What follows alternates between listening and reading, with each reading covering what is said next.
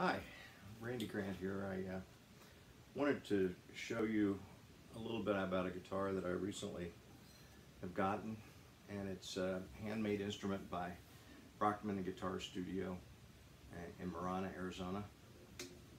And uh, this probably won't do it justice, but you can see the uh, cedar top, all solid wood, sides bent by hand, uh, inlay around the the edge around the binding, inlay around the sound hole, uh, front and back. I mean, look at the grain on that on that wood.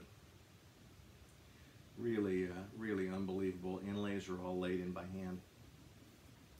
Um, the only things that aren't made by hand, I believe, are the are the tuners, premium Grover tuners, and uh, and the frets obviously, which would be very difficult to make.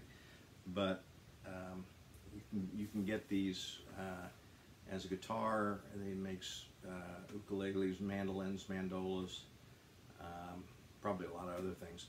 But um, look it up, Brockman Guitar Studio online, and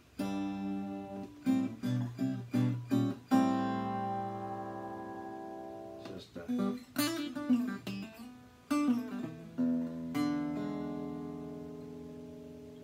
fantastic sounding.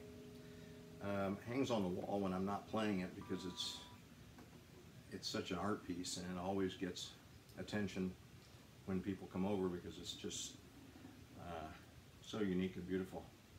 So anyway, if you're looking to pick up a guitar anytime soon, I uh, urge you to look uh, Brockman Guitar Studio. Thanks, hope you enjoy.